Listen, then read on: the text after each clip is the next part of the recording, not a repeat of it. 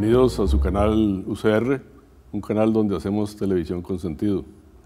Hoy continuamos con el tema de energía y descarbonización de la economía, pero con un tema particular, el proceso de legislación en el proceso de descarbonización. Y para ello hemos invitado a la señora diputada Paola Valladares Rosado, a quien le damos la bienvenida. Muchísimas gracias. Para mí pues es un gusto venir y poder conversar para que nuestros televidentes y la ciudadanía se entere de cómo conlleva el proceso de legislación y cómo podemos influir en diferentes áreas y temas de, que llevan a la mejora del desarrollo de este país. La diputada Valladares tiene un bachillerato en publicidad de la Universidad Latina, una licenciatura en Ingeniería Civil de la Universidad Latina y una gerencia de proyectos del Instituto Tecnológico de Costa Rica. En este momento, señora diputada, quisiéramos preguntarle qué opina usted del proceso de descarbonización de la economía, de la, de la iniciativa que ha planteado el gobierno en ese sentido y de qué le parece el contenido de esa iniciativa.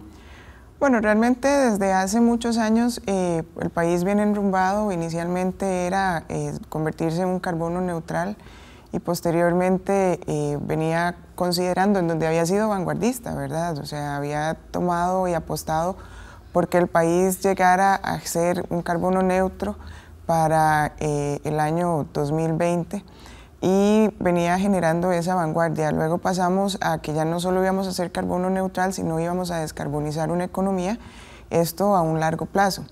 Evidentemente em, es una, pues es, es, es un proyecto o es una aspiración bastante grande y considerando el haber leído lo que el gobierno planteaba, eh, pues quedan muchos vacíos, ¿verdad? Si bien es cierto, establece 10 ejes sobre los cuales estaría generando esa descarbonización y la apuesta, pues evidentemente eh, hay que asumir ese reto como país.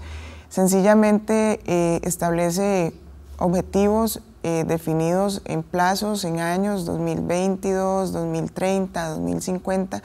Sin embargo, en algunos de los ejes que establece, como el eje de ganadería, el eje de agricultura, el mismo eje de, transporte, en donde lo diluye como en cuatro o tres sectores del área de transporte, me parece que, igual que, el resto de los ejes, me parece que falta eh, un poco del cómo vamos a alcanzar eso, ¿verdad? Porque es muy fácil decir que vamos a tener 30% eh, de la flotilla vehicular de transporte público siendo eh, eléctrica o de cero emisiones, cuando a hoy actualmente ni siquiera se ha podido, eh, por ejemplo, renovar concesiones o establecer, eh, más bien darle la seguridad jurídica a los concesionarios porque estas ni siquiera se han podido adjudicar, ¿verdad? Entonces uno dice, del dicho al hecho hay mucho trecho.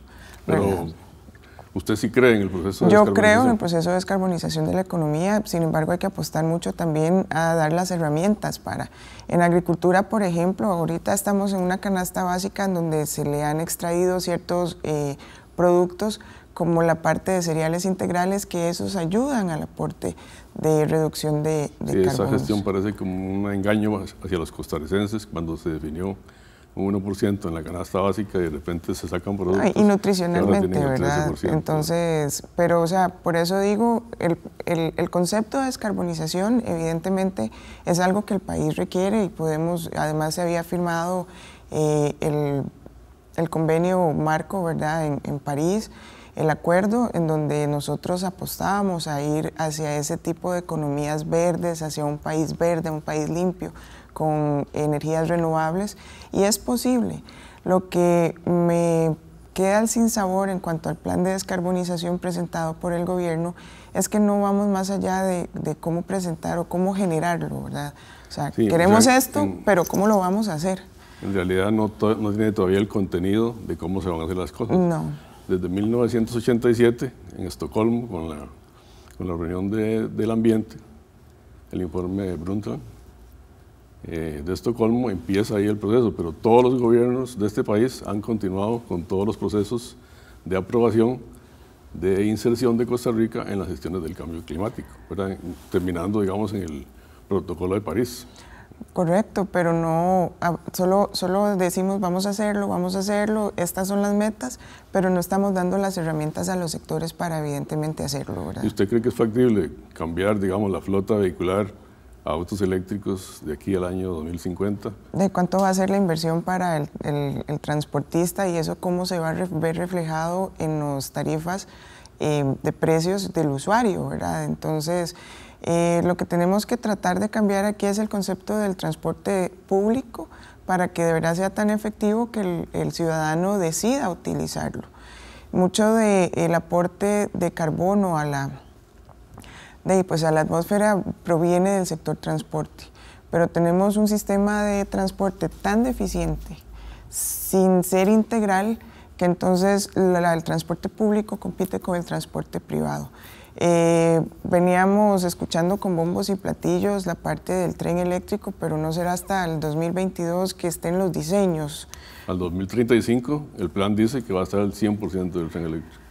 Bueno, eso esperaríamos que sea, pero no, no, no creo que, que de verdad, como se llevan las obras en este país con cero planificación, se puedan ejecutar acordes a los plazos.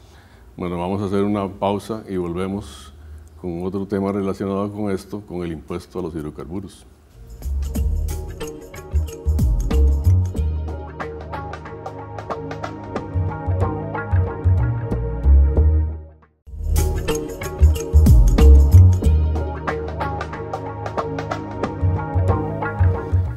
Continuamos con el tema de los impuestos a los hidrocarburos con la señora diputada Valladares por el Partido de Liberación Nacional en este periodo. Se, ha, planteado cambiar el concepto de los impuestos a los hidrocarburos a unos impuestos verdes.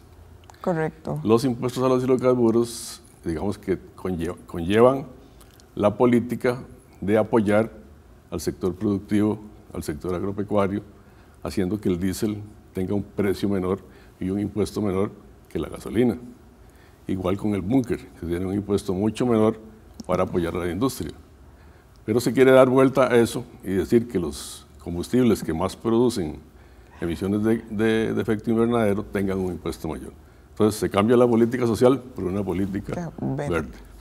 Sí, yo lo comentaba la semana pasada cuando tuvimos representantes de la OCDE en un foro que se hizo sobre descarbonización en el Museo de Jade, eh, que evidentemente si tuviéramos una economía más dinamizada probablemente sería una muy buena opción. Sin embargo, si lo ajustamos a la realidad nacional, esto viene en detrimento de la misma economía. Eh, ese cargo que va a tener el impuesto, o sea, los combustibles mediante un impuesto, se va a ver en el sector transporte público, se va a ver reflejado en la tarifa del usuario. Entonces, venimos a empezar a utilizar nuevamente nuestros carros privados en lugar de tener eh, porque si va a estar más caro el transporte, porque va a estar más caro el combustible, entonces mejor asumo yo ese costo de combustible y sigo usando mi carro particular.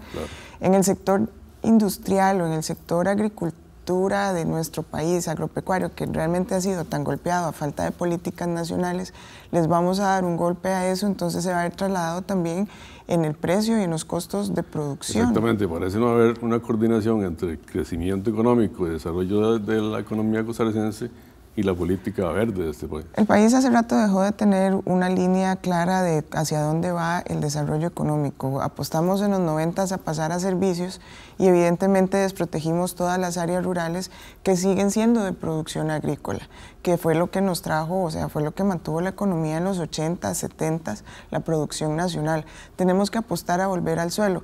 Sin embargo, al generar este tipo de eh, impuestos verdes sin iniciativas que vengan a fomentar el uso de, al final, eh, de estamos cobijando, descobijando un santo para cobijar otro, así de sencillo. Y como usted sabe, digamos, el Producto Interno Bruto creció al 2,7%, mucho menos de lo que se proponía, que era un 3,1%.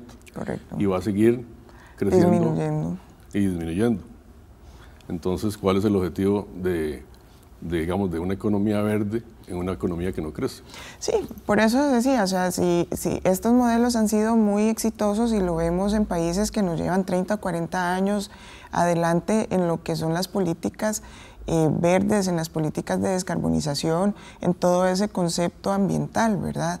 Pero tenemos que ser muy claros a las realidades nacionales. Entonces, para mí no es, eh, no es que esté en contra de la descarbonización ni en contra de las soluciones ambientales. Me parece que tenemos que vivir en esa armonía y apostar por mejorar para ir reduciendo las emisiones de carbono. O sea, eso nunca lo vamos a poner en duda.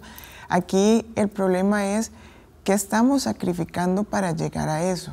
Entonces no podemos sacrificar sectores tan vulnerables como un sector agropecuario, como un sector ganadero, el sector de la industria, en donde cada vez vienen menos empresas a invertir y además les vamos a poner impuestos adicionales que eventualmente va a ser menos atractiva la competitividad de un país o una región para poder generar esa dinamización y el gobierno actúa eh, diferente. O sea, quiere eliminar el Habdeba, en la provincia de Limón hay una gran cantidad de desempleo. Correcto. Se quiere eliminar Recope, se quiere despedir el 60% de los trabajadores de Recope. La electricidad no crece, el ICE también tiene muchos empleados. Entonces no es congruente esa política de desempleo con una política verde en la cual la inversión es muy alta. Es una, es una política, digamos, para una cierta clase media que puede comprar un vehículo eléctrico, un vehículo eléctrico. que puede tener ciertas condiciones de, de generación distribuida, de un panel solar en su casa, pero no es para la mayoría. No, y veámoslo, o sea, los paneles solares deberían de estarse aprovechando a nivel de ICE como institución eh, líder en el área de la electrificación de este país, en zonas como Guanacaste, en donde normalmente la, mayor parte del tiempo tienen esta, eh, el sol pues ahí, ¿verdad? Esta parte de sequía. Evidentemente no va a ser una solución para un área eh, tan húmeda como Limón, sin embargo, no han sido, no se ha hecho la apertura. O sea, pensamos en una economía verde, pero no, no mejoramos dentro del país eh, situaciones como estas. Los paneles deberían de estarse viendo, ser soluciones más, más comunes en los hogares, ¿verdad? Para no depender de otro tipo de energías, si es que esto viene a generar un aporte a la disminución de, la, de, de los aportes de carbono, más bien pero eso no lo vemos. Entonces, tienes toda la razón. O sea, el, gobierno dice una cosa, pero hace otra. ¿Y qué cree usted con respecto al monopolio de los hidrocarburos del Estado? Porque la recolección de impuestos está basada básicamente en la existencia del RICOPE y la existencia del monopolio. Sí. Si ese monopolio se elimina, ¿cómo recolectamos los impuestos? Hay, hay, cosas particulares. Yo siento que a Recope se le deben dar herramientas y yo creía en un, pues el plenario decidió no darle, eh, ampliar el plazo cuatrinal al proyecto, en donde le permitía a Recope ingresar en la innovación y en la investigación. El país que no investiga no va a llegar nunca a innovación ni desarrollo. O sea, eso va de la mano. Entonces, qué mejor que el ente rector, siendo del Estado, para haber incursionado en todo lo que era aspectos de investigación alrededor de energías limpias, ¿verdad? Tenemos eh, soluciones con hidrógeno, ver qué otras soluciones con biocombustibles se podrían ir generando y hacer que Recope entonces, eh, a pesar de que está con los hidrocarburos, pudiese ir encontrando caminos para su diversificación del aporte de combustibles. Generar biocombustibles sería una parte importante de generación y reactivación económica, incluso en sectores agropecuarios, ¿verdad? Que tienen este tipo de, terrenos que eventualmente si el sector eh, X de algún cierto producto no está con buenos rendimientos, podrían migrar hacia algunas soluciones alternas. siempre que no compita con áreas forestales, ¿verdad? Sí, no, o sea, respetando todas las Ahí estamos resolviendo el 10% del problema de la gasolina y el 5% del problema del diésel. Sí. ¿Verdad? Queda todo el resto. Queda el búnker, el jet fuel, eh, el querosene, todos los demás combustibles que quieren desaparecerse hacia el año 2050. Sí, pero entonces los biocombustibles no son una solución para la descarbonización pero tal vez sí podría ser una solución para reactivar el sector, el sector agrícola. Pero pueden ser complementarios, ¿verdad? Biocombustibles o energías limpias y combustibles un poco más limpios, pero igual, si no vamos hacia la investigación, no sabremos qué tipo de soluciones podríamos eventualmente eh, generar que disminuya incluso la cuota, el aporte o la facturación petrolera. O sea, de verdad tenemos que permitir que un recope, sin embargo, eh, volvemos a lo mismo, cobijamos un santo descobijando el otro. En este país, con la 8114, que es la ley del impuesto único a los combustibles, es con lo que la mayoría de las municipalidades, por no decir el 100%, utilizan para invertir en la reparación y mejoramiento de caminos. Si vamos a eliminar los combustibles y este impuesto único, ¿qué vamos a hacer o quién va a asumir después de una primera ley de transferencia de competencias hacia los municipios? ¿Cómo se van a atender los, o de dónde vamos a sacar los recursos para atender los caminos? Sí, básicamente, bueno, usted es presidente de la Comisión de Infraestructura, ¿verdad? ¿Qué pasaría con el asfalto que se le da a las municipalidades? Eso es lo que usted me está diciendo. Con el asfalto y con la capacidad eh, adquisitiva de los municipios, porque las municipalidades invierten únicamente lo que reciben de transferencia de, por parte del Estado en la reparación de caminos ese recurso de la recolección del impuesto único a los combustibles. Entonces, si quito los combustibles, ya no tengo recaudación de impuesto único, ya no puedo transferir a las municipalidades, ya además las municipalidades no van a poder adquirir eh, eventualmente asfaltos.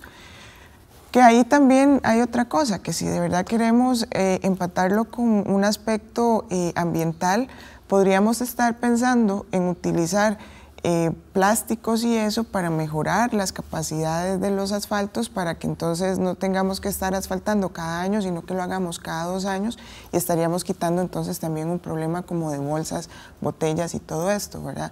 Es que me parece que los temas deben de verse de forma integral. No, volvemos al punto, no pensar solo en una economía verde si estamos eh, en detrimento del resto de la economía productiva sino entonces ver hasta dónde vienen los equilibrios entre los tipos de economía, que sí y que no, pero no podríamos apostar a los 10 ejes de forma igualitaria para que en el 2050 todo aquí sea verde. ¿verdad? Entonces, doña Paola, vamos a otro corte y volvemos con el aporte legislativo de la señora diputada al proceso de descarbonización de la economía.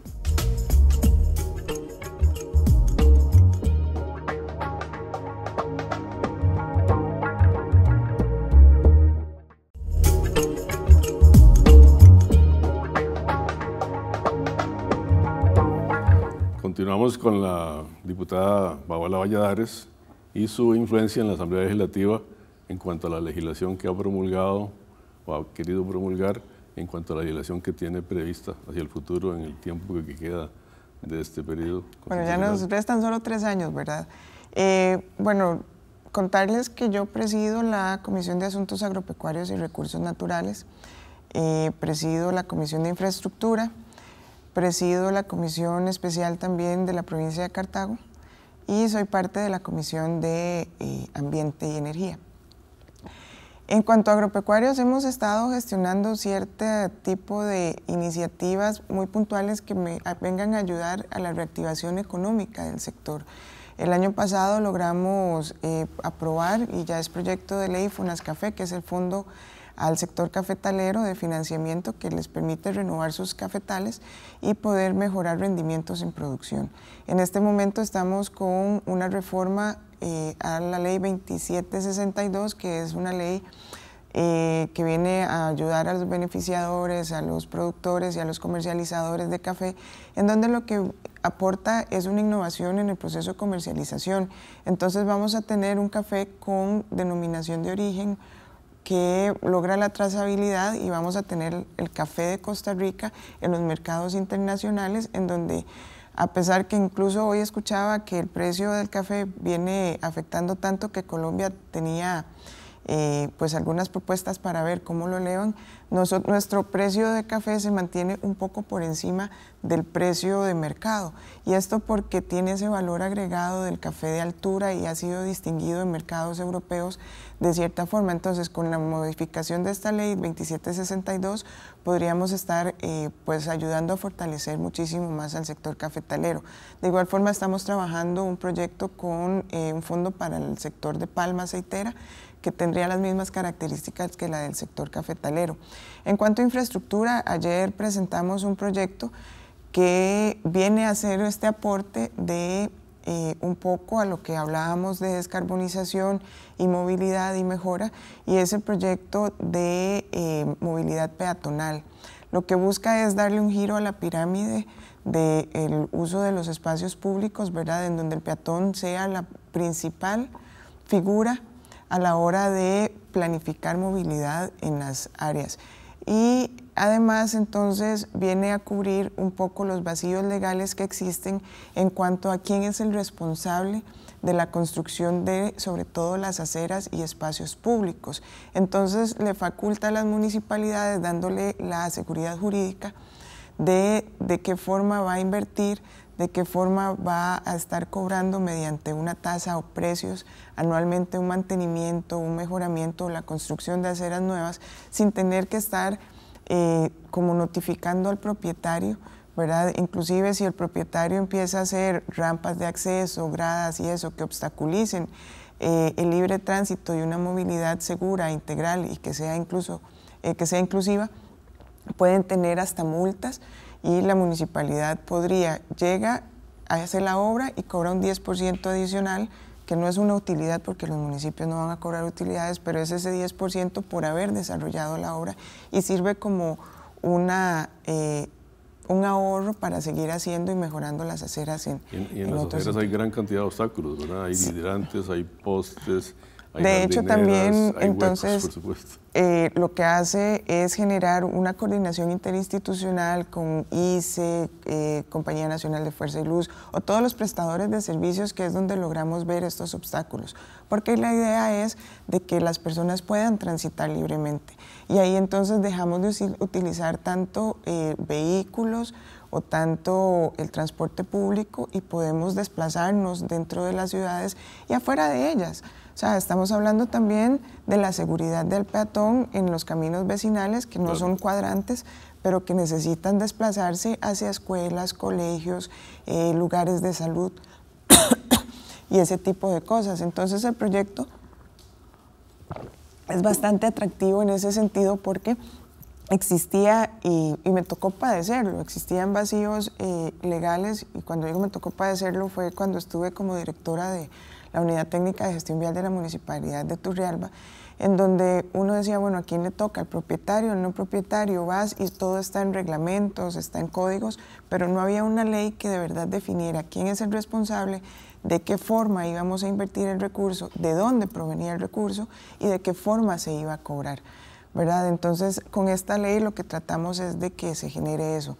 Estos eh, obstáculos y este tipo de situaciones que encontramos en los espacios públicos y sobre todo en las aceras, el otro día escuchaba por parte de la Caja del Seguro Social que es uno de los puntos negros porque es donde un alto porcentaje de incidencia de accidentes se generan sobre todo en adultos mayores, en personas con discapacidad y pues igual, las señoras con su coche que llevan sus hijos, o sea, las caídas son muy frecuentes o el hecho de que ya las personas incluso más allá en un tipo de enfermedades hasta psicológicas por depresión y esto y el otro, porque no pueden salir, porque no es accesible andar en la calle.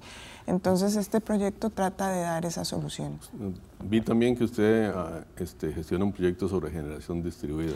Sí, tenemos el proyecto. La generación distribuida es una actividad que tampoco es para la mayoría de los de los habitantes de este país. No, pero viene a darle alguna solución a lugares, sobre todo en áreas rurales, ¿verdad?, que puedan generar su propio consumo. Sin embargo, ocupamos la apertura eh, en la matriz eléctrica del ICE, que ellos han estado a la defensa de que tenemos suficiente electricidad y no estarían entonces aportando eh, o recibiendo más electricidad de generadores privados, ¿verdad? Ahí es donde tenemos que tratar de llegar a este entendimiento de que yo debería poder producir lo que estoy consumiendo y ese excedente incluso poderlo aportar a ¿Usted está de acuerdo con lo que dicen los generadores privados de que ellos generan a un costo menor que el ICE? Eh, está demostrado con números, ¿verdad? Eh, pero pues eso podría venir a disminuir las tarifas eléctricas y entonces ayuda ahí a la economía en la parte industrial siendo más atractivo para la comercialización. ¿Y pero qué pasa con el ICE, una empresa que ya no crece tanto, que crece al 0.9% el consumo nacional. ¿Qué va a pasar con las finanzas del ICE? Con, bueno, ya las finanzas del ICE de, este por sí vienen bastante en números en rojos. Eh, es una institución que debe haberse ido reinventando, ¿verdad? No solo eh, en ese sentido, me parece que le amarramos muchísimo tiempo las manos al ICE, pero eh, tenemos el ICE como institución lo que tiene que cambiar es la visión de cómo estamos generando la matriz. Pero bueno, volvemos a lo mismo. con esto de aumentar supuestamente el consumo de vehículos o transporte eléctrico, estaríamos entonces aumentando la demanda de electricidad que ha venido disminuyendo porque la gente ya no está tanto en su casa, la gente ya eh, pensando en estas economías verdes, en un país limpio, evidentemente eh, los desperdicios cada vez son menores porque hay más conciencia de la utilización de los recursos, ¿verdad? Entonces es donde nuevamente digo, las cosas tenemos que verlas y planificarlas de una manera integral, ¿verdad? Pero él dice, bueno, ahorita tiene bastantes problemas con sus Agradecemos mucho su presencia en esta entrevista. muchísimas gracias, de verdad que es un tenga placer. éxito en sus proyectos. Gracias. Vamos a terminar la entrevista con una reflexión sobre qué legislación requiere el país para promover el proceso de descarbonización de la economía que está realizando y que posiblemente tenga diferentes tropiezos que tienen que ser resueltos a nivel legislativo. Muchas gracias y volvemos en otra entrevista.